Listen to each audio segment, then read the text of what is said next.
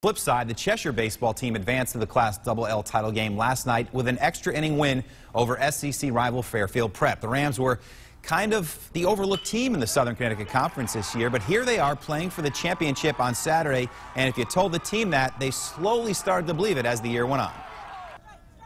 I, I knew we had a shot, but I didn't. I wanted to get that extra factor, that belief factor. And once we started to bond as a group, we just it just felt like nothing could stop us. It's awesome because the last time that I did as a coach was in 2000, so they remind me, so I'm feeling very old. But I'm glad these guys get an opportunity to experience that um, and get out there and just play. Real, real excited. The Rams will play Ridgefield Saturday at noon at Palmer Field.